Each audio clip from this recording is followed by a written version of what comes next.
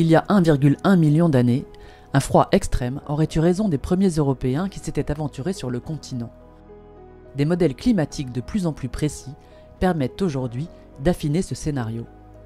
The period of time in Europe between about 1 and 2 million years ago is really interesting because we have a series of human fossils, not very well dated, and we have stone tools that show people were there. It's not really clear who these people were. So we've got Homo erectus over in Western Asia the site of Dmanisi at about 1.8 million years ago. Uh, then we come on to sites in southern Europe. Uh, we've got stone tools in Italy and Spain at about 1.5 million years.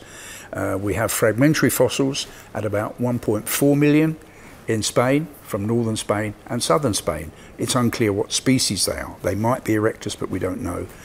And then there's a gap in the evidence. Uh, and then we come to about 850,000 years ago, and we're at Grandolina at Atapuerca, and here is this partial skull of a child uh, assigned to the species Homo antecessor.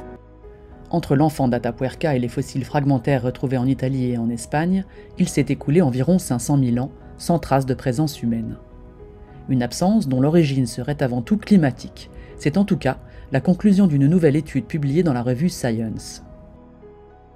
Received wisdom is that the uh, climate cycles at that time that humans first appeared were generally mild, uh, and that the first big glaciation happened later, 900,000 years ago.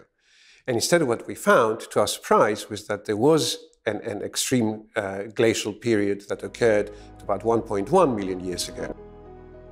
The way we reconstructed paleoclimate in Iberia at that particular time was analyzing uh, material from a marine core and we looked at both the terrestrial and the marine component. So basically there are these fossilized microorganisms and we looked into the chemical composition of these creatures, we looked at the pollen grains and also the chemical properties of the sediment. Contrary to what we were expecting, we actually found that that glacial period was characterized by increasingly unstable conditions that culminated with a drop in sea surface temperatures to 5.5 degrees and temperate trees disappeared from uh, Iberia. The results from these computer experiments are clear early humans in Europe could not have survived this extreme glaciation. It does lead to the question of which species were there before and after, and were there differences between those species. And yes, I think it, it, it seems likely that when humans came back, maybe around 900,000 years ago, they were a more resilient species. So we have this sequence then of something erectus-like early on, probably, and then later on Homo antecessor, and then Homo heidelbergensis.